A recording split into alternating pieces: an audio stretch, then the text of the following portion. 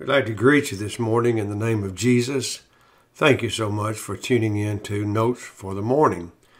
Those of you that have been following us uh, understand that we're trying to explain the armor of God, the warrior, the warrior that's in the battle between the flesh and the spirit man, the new man.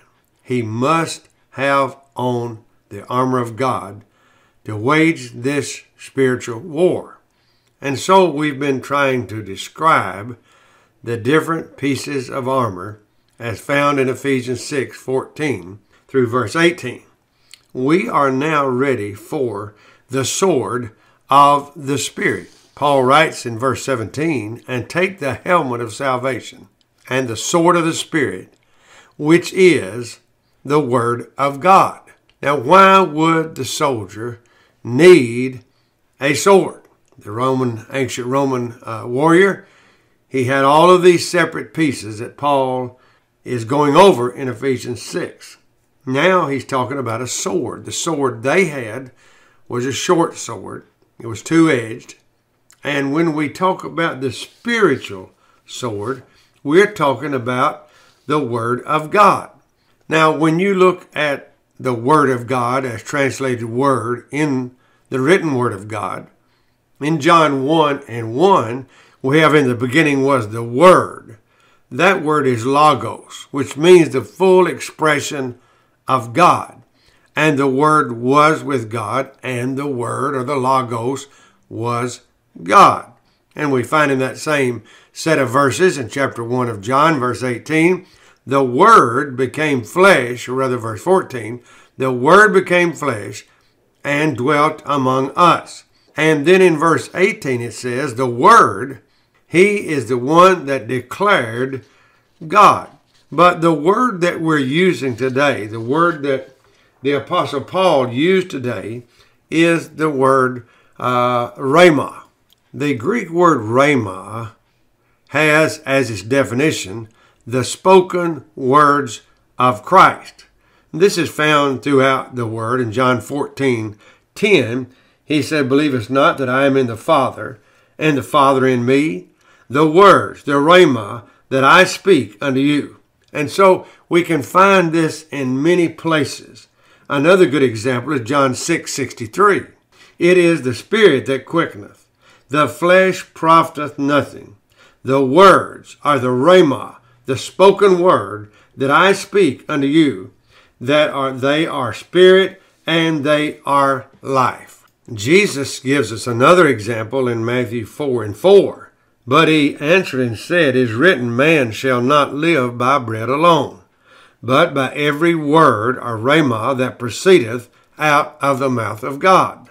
So Paul is speaking under the inspiration of the Spirit that the believer, the good soldier of Jesus Christ, is to be armed with the very Word of God those words that were spoken by Jesus, and the Spirit had these same words written down by the apostles, which we have in the four Gospels. The benefit for the good soldier of Jesus Christ is that if he speaks the Word of God, he's speaking the very power of God. And so in Psalms 119 11, the Bible reads, Thy word have I hid in my heart do we have, as good soldiers of Jesus Christ, have we hidden the very word of God in our heart? David said he did that he might not sin against thee. In Psalm 119 and 105, he said, Thy word is a lamp unto my feet and a light unto my pathway. If the good soldier of Jesus Christ is going to wage war, he needs to be armed with the sword of the Spirit, which is the spoken words of Christ, the spoken words of God. They will keep him from sin. They would illuminate his mind and his pathway so as to what to think, what to do, and where to walk. In fact, in verse 130, David writes, The entrance of thy words giveth light, it giveth understanding to the simple. There is no victory experienced by the believer, the good soldier of Jesus Christ, in the war, in his mind, He must not have carnal weapons, but he must have God, the power of God, to the pulling down of strongholds. He must bring every imagination and every thought into the obedience of Christ. And so the Word of God is more to be desired than fine gold. Yea, much more than fine gold, David said. Sweeter also than honey and the honeycomb. Why is that? Moreover, by them is thy servant warned, and in keeping of them there is great reward. So when we are in the battle with the old man, the new man must arm himself with the very words of Christ. And so David concluded chapter 19 of the book of Psalms in verse 14. Let the words of my mouth and the meditation of my heart be acceptable in thy sight, O Lord, my strength and my redeemer. Therefore, if we're going to do any kind of battle with the old man, we cannot do it in our own power. We have not the intelligence. We have not the strength. We have not the intellect. We cannot outdo the old man. The adversary, the old man, is stronger than we are. And so every child of God must have as his sword the sword of the Spirit. He must have the power of the words of Christ.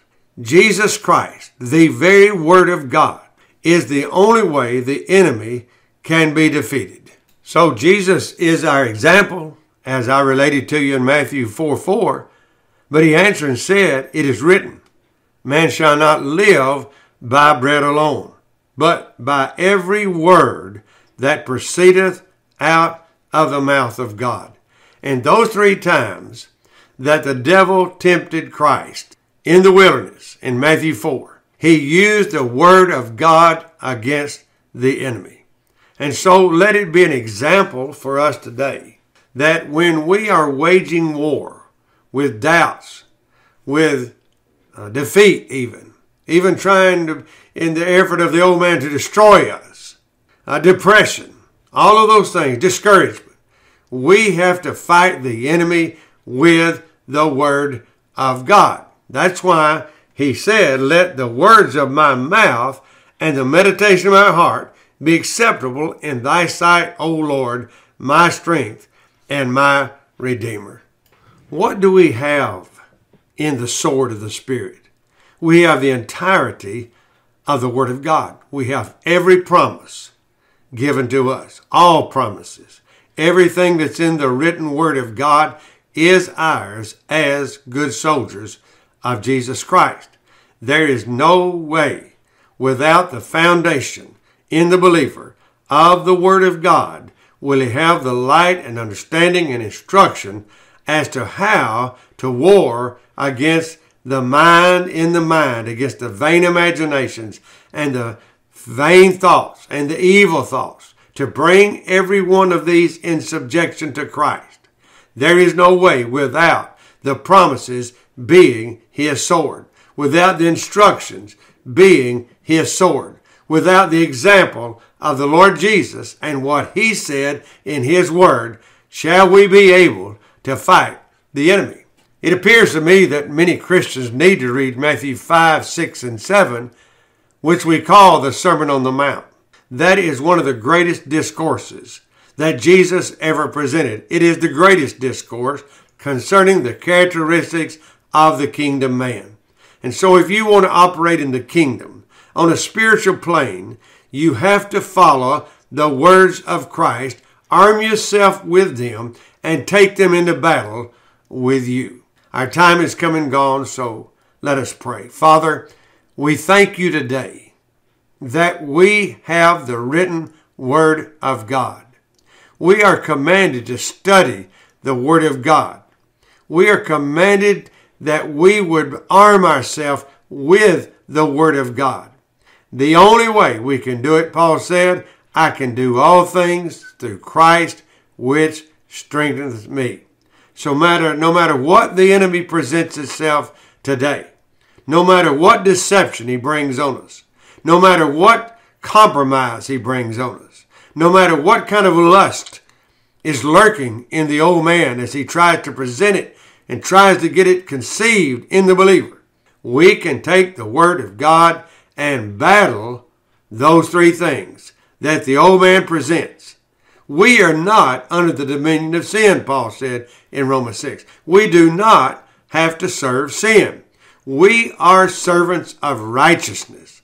And I pray today, God, that you will arm everyone that's under the sound of my voice that is a believer, that they will see the necessity of memorizing, uh, meditating, observing, obeying the Word of God. For Joshua said in Joshua 1 and 8, this is our success when we observe to do all that's written in the Word of God. May we meditate on it day and night. May it be more, as Job said, than our necessary food, that we might be able to fight this spiritual battle and bring down strongholds with the sword of the Spirit, which is the Word of God.